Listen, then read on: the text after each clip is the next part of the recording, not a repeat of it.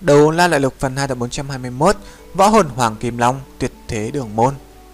Mỗi ngày mỗi thân chỉ là dựa vào thu nhập quẩm cõi lùi tà lục khôn lớn, Vì kế sinh nhái, Không tiếc mùa đông các nghiệt, Mỗi thân cũng là ra ngoài giặt đồ, Tay của mẹ sức hết cả ra máu. Mẫu thân rất là thương ta, Mẹ nói ta chính là lẽ sống của mẹ. Hôm đó thì là trời tối rồi, Mẫu thân chạy về nhà. Nụ cờ là hiếm gặp trong cuộc sống, Cứ là cơ cực vất vả đang là ở trên môi. Ngươi biết là chuyện gì hay không? Vũ Hạo lúc này quay sang nhìn Vương Thu Nhi, Hai mắt đẫm lệ. Lại là cắn cái bánh nướng, Hắn nhâm nhi nhấm nháp, Nước mắt chạy xuống trên má. Chuyện gì vậy? Vương Thu Nhi vẫn là lạnh lùng, Chỉ là có hơi mờ mịt.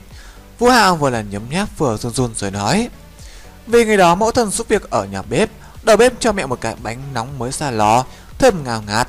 Mẫu thân tưởng tượng đến cảnh ta không cần ăn bánh ngô nữa, Có cái bánh ngon để ăn Nên mẹ rất là vui.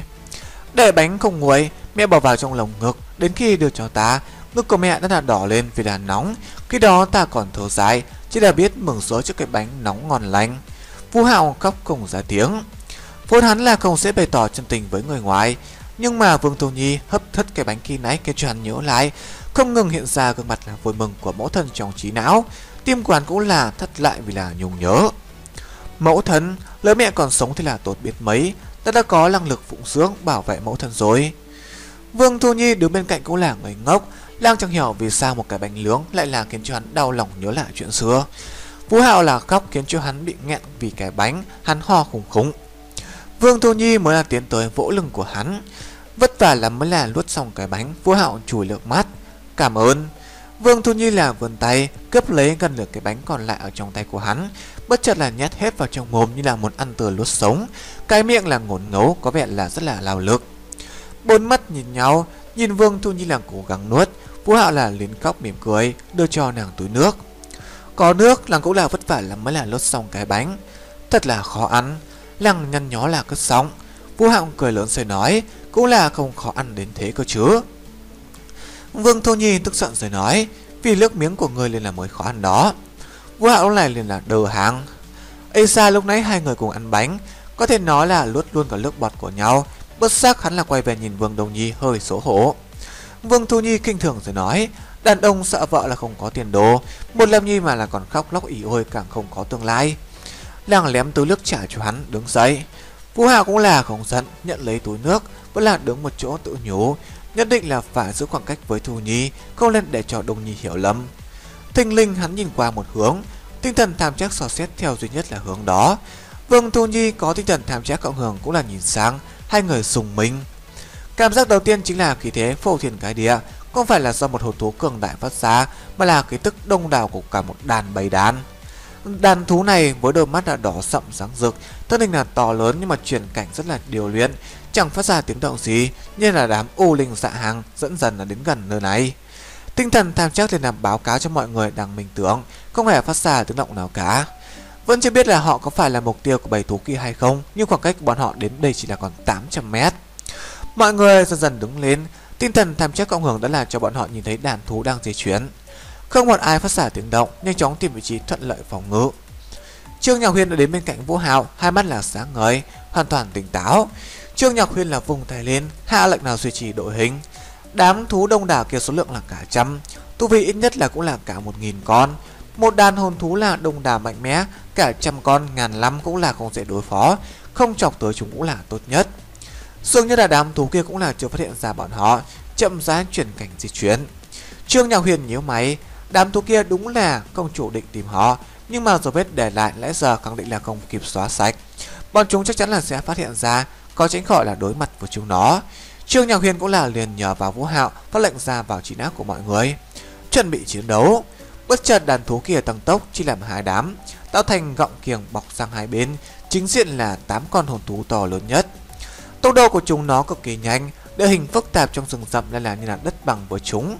Phân tán, đánh sở sướng Không ngờ là hồn thú cũng là có chiến thuật, Rõ ràng thì đã là chọn bọn họ làm con mồi đi săn Trương Nhạc Huyền trầm giọng rồi nói, Mọi người chuẩn bị chiến đấu, Đám hồn thú khó đối phó, Tàn sát, Mặc Hiên. Vâng. Mặc Hiên phóng thích ra võ hồn Hai vàng hai tím hai đen dâng lên. Quang hoàn từ trên người tỏa ra Bao phủ mọi người ở trong đó. Vũ Hạo cũng là cảm nhận sức mạnh Tốc độ đồng thời là được tăng phúc Tập trung cũng là tốt hơn. Mặc Hiên giải phóng ra là ba quang hoàn đầu tiên của hắn. Biên độ tăng phúc khiến cho kẻ khác là không dám khen, chẳng bằng một phần năm thất bảo lưu ly tháp.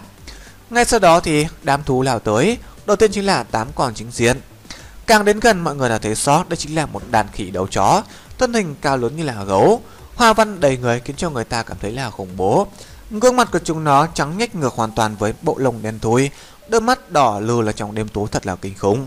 Là huyết hồng phí phí, mọi người cẩn thận, huyết hồng phí phí có năng lực vật nhau rất là mạnh, có hồn ký thiên phú thị huyết, cấp độ phát điên cũng là tăng cường công kích và phòng ngự.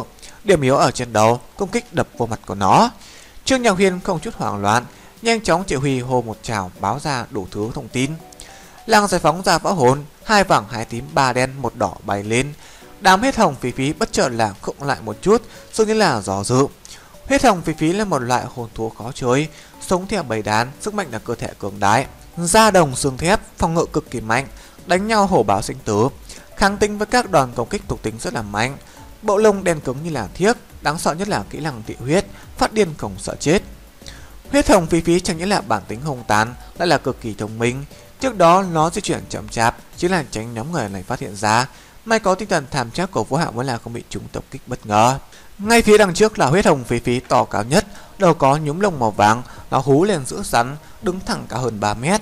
Hai chiếc trước mạnh mẽ đấm tùng tục vào ngực, một vòng sáng ánh kim khuếch tán ra, toàn bộ huyết hồng phí phí xung quanh đều là đổ thành màu ám kim. khi tức thêm cường hãn, sự do dự vừa nãy mới xuất hiện ra liền tan biến, hai mắt là hung tận, gào thét sông lên. Trương Nhạc Huyên là trầm giọng rồi nói, là phi phí vương, tôi vì là lầm vạn năm, mọi người cẩn thận quần thể cuồng báo. Sau lưng của Trương Nhạc Huyên hiện lên một vật sáng, một mặt trăng tròn vành vạch như là treo lơ lửng ở trên cây, chiếu sáng khắp lơi Bàn tay trắng nón của nàng chỉ về phía trước, mặt trăng lao ra, ánh trăng chiếu qua chỗ nào khi bay ra chỗ đó.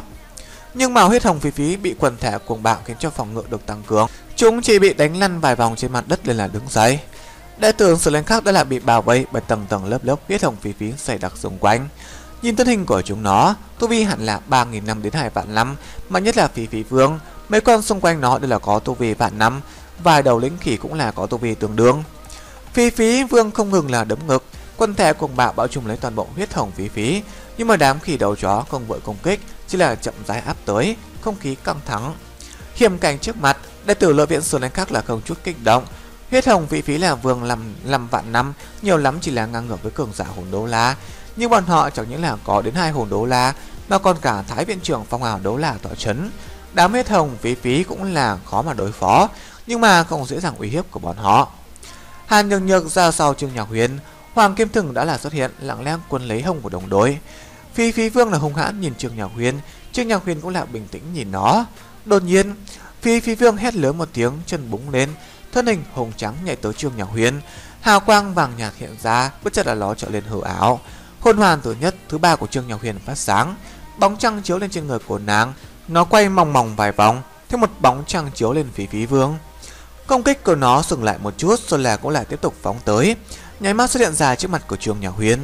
Phi Phi Vương hành động, huyết hồng Phi Phi cũng là cùng lúc tấn công. Mấy con vạn lâm liền là điên cuồng phát động ra công kích. Trương nhà Huyền hợp trưởng trước ngực, trăng tròn sáng rực, tia sáng trăng thanh liên tiếp là bắn xuống ngăn chặn phí phí Vương và bốn con huyết hồng phí phí vạn nằm trước mặt. Đối phương bao vây từ phía sông lên. Có hai con huyết hồng phí phí vạn nằm công kích quả Vũ Hạo, Vương đồng Nhi đã là ở bên cạnh Vũ Vũ Hạo rồi. Vương thu Nhi thì là ở bên trái, hai lưỡi không ai che mặt cả. Hai con huyết hồng phí phí cũng là cùng lúc nhảy lên, một trận một trận đập xuống đầu của Vũ Hạo. Vũ Hạo cũng là thần kình bách chiến, hà quang là lóe lên, bốn hồn hoàn sáng rực, đôi mắt hóa trắng độc, bạch quang bắn giả từ phía, chính là quần thể suy nhược. Quần thể suy nhược của hắn hiệu quả tốt hơn cả quang hoàn tăng phúc của Mặc Hiên nhiều. Tất cả huyết hồng phí phí là đều chậm lại, hung hăng giảm đi. Huyết hồng phí phí là vốn chủ yếu là công kích vật lý, quân thể suy nhược là tác dụng lên bản thể, xem như là các chế, quân thể cuồng bạo bị giảm hiệu quả. Phú Hạo không lùi mà tiến, nghiêng người lắc qua huyết hồng phí phí vạn lắm, tay phải tung trưởng. Huyết hồng phí phí là vốn thích đổi cứng, thấy vũ Hạo là công kích, nó chẳng thèm trốn, hai tay là quét ngang, cơ mà cái tay phải của hắn cũng là dám không né sáo, nhẹ nhàng lật tay, khống ngạc cồng long sử dụng ra, không chụp mà chót. Mượn lực là đẩy bắn tới, Lâm tiêm máu cùng với tiếng la thảm thiết của huyết hồng phí phí vạn làm vốn ra. Lưỡi đao ám kim sắc bén là thoáng hiện, xài cả là xích chui tọt vào cơ thể của huyết hồng phí phí. Bộ lông của nó rất là chắc chắn, nhưng so với ám kim cổng trào cũng là chỉ là nhà tờ sấy không khác mấy. Nhưng mà huyết hồng phí phí là khá cường hãn, trong thương cũng là không mất đi chiến lực, đại là điên cuồng giống lên, huyết khí đậm đặc phun ra, khởi động trạng thái thị huyết. Còn huyết hồng phí phí vạn làm thứ hai đánh tới mục tiêu là Vương Đồng Nhi và Vương Thủ Nhi. Vương Đồng Nhi vẫn là chú ý Hoắc Vũ Hạo Làng theo sát hắn, Quang Minh Lữ Thần Điệp là tung cánh, Điệp Thần Quang chính diện là bắn ra. Điệp Thần Quang công kích là không yếu, nhưng mà một kích phá hủy phòng ngự của huyết hồng phí phí cũng là vạn làm vẫn là chiếu đủ, chỉ khiến cho nó là khựng lại. Ngay lúc đó, Vương Thu Nhi là ra tay, trong tiếng lòng ngấm thân thể là nàng sáng rực ra một màu vàng, lắc người tiến xa trước mặt của huyết hồng phí phí vạn năm. Huyết hồng phí phí là không chút sò dụ là một quyền quét ngang. Mỹ Lữ Vương Thủ Nhi không dùng ngôn kỹ mà là tay không đối chiến, lắm đấm như là tuyết còn là to hơn cả tay của huyết hồng phí phí vùng lên. Lắm tay đó hóa thành kim sắc, quyền của huyết hồng phí phí cự nhiên là ngừng lại. Tiếng rắn chói tai là vang lên, cánh tay của huyết hồng phí phí bật ngược ra sau, nhưng chỉ là còn lại phần lửa, cánh tay cơ bắp cứng chắc kia, không ngờ chỉ là một khắc là bị gãy rồi. Huyết hồng phí phí vạn nằm thua thế thảm, Vương Thu Nhi là cong dừng lại, chân dẫm đất phóng đi như là biển đạn bằng vàng. Huyết hồng phí phí đau đớn la lên, kích hoạt thị huyết, giơ tay kia chụp tới Vương Thu Nhi. Vương Thu Nhi đang ở không trung, không tránh né cũng là tung tung cháo. Vương Thu Nhi thậm chí là chẳng thấy rõ nàng làm sao, ngay lập tức là lẳng hạng cánh mà là như là cự thạch rơi xuống mặt đất vậy. Âm một tiếng, tiếng lổ vang lên. Vị trí của Vương Thu Nhi chạm đất bộc phát ra khí lãnh, đánh đánh giạt những con huyết hồng phí phí phía sau bằng tứ tung. Làng chụp lấy con huyết hồng phí phí hồ chảo kia, ôm lấy thân thể của nó, quăng đi như là bịch cáo vậy. Đúng vậy, chính là quăng. Đùng một tiếng, huyết hồng phí phí là vạn lầm bị quật ra đất, để chết hai con huyết hồng phí phí khác. Vương Thu Nhi là không buông tha, Lâm hồn hoàn hai vàng hai tím một đen hiện lên, hồn hoàn thứ ba phát sáng, quyền kình đánh ra, bùng một tiếng. Cái đầu huyết hồng phí phí là bị đánh lát như là bùn, thân thể to lớn giật giật kinh hoàng rồi làm bất động, hôn hàn màu đen dâng lên. Này, Vương Đông Nhi rất là tự cao nhưng mà thấy cảnh tượng này cũng là sợ hãi, rất là bạo lực. Vương Thu Nhi cũng là quá bạo lực đi, đầu tới cuối cùng chỉ là rằng bằng sức mạnh thổ bạo chỉ là chốc lát đánh lát đầu một con huyết hồng phí phí vạn lắm. Vòng chiến của vô Hạo cũng là sắp kết thúc rồi, phóng ra huyết thị, huyết hồng phí phí bất chợt là đến bên cạnh bảy đàn. Một cái lốc xoáy tinh thần hỗn loạn nhờ có thị huyết của nó mà là trở lên hiệu quả ngoài sức tưởng tượng. Huyết thống phi phí vạn lâm cực kỳ là điên cuồng, hai đấm như là cối xe gió muốn loạn, đánh bay hết con này tới con khác trong đám đồng đối. Có thể nói khắc tinh của thị huyết chính là tinh thần hỗn loạn, quang mang nhạt nhạt lóe ra, Vũ Hạo là không truy kích nữa.